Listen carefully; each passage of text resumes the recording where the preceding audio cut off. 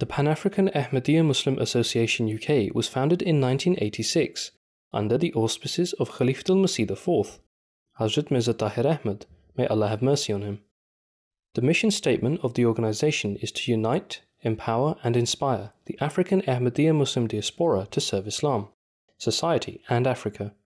On Monday, the 2nd of April 2018, the PAAMA organization held the National Ijtima at the Beit al Futuh Mosque, gathering African members from throughout the UK.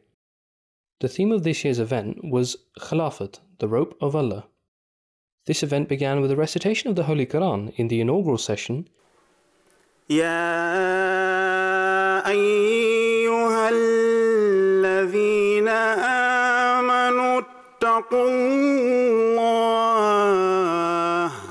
and was chaired by the National President of PAAMA UK, Mr. Tommy Callon. It gives me great pleasure to welcome you here today at this second PAAMA National Ijtima on the theme Khilafat, the Rope of Allah. I cherish the atmosphere at these Ijtimas because they afford us the chance to speak to, to each other at close quarters and to spend some valuable time together. Men and women of all ages participated in various academic and sporting competitions throughout the day. The second National Ijtima of PAAMA UK attracted around 400 members from across the UK. Final session was chaired by Mansoor Ahmed Shah, the Vice President of the Ahmadiyya Muslim Community UK. The event report was presented by the National President of PAAMA UK, Mr. Tommy Callon. We have arrived at the conclusion of our second PAAMA National Ijtima, fittingly based on the theme Khilafat, the Rope of Allah, for it is indeed with the blessed approval of Hazrat Khalifatul Masih that this Ijtima is being held for the second year running. In the prize distribution ceremony, the Vice President presented the prizes to the competition winners.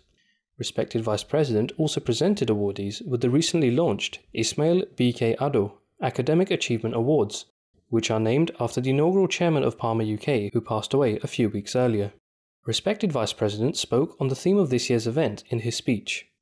Huzur Anwar Ayyadullah Ta'ala ibn Aziz says, My dear spiritual children of the promised Messiah, Islam, Assalamu alaikum wa rahmatullahi wa barakatuhu. I'm glad to know that you're holding your second Ijtima this year. May Allah the Almighty bless this event in all respects. Ameen. Every man, woman, young and old of the Jamaat knows a phrase very well, which is, I shall give precedence to faith over worldly matters. This is because the promised Messiah, on whom be peace, speeches of our orators cite this phrase as well as addresses of Khulafa.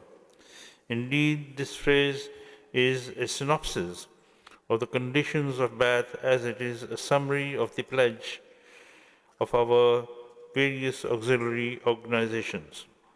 The event was concluded with a silent prayer led by Mansoor Shahsab. This report is brought to you from MTA International, UK studios in London.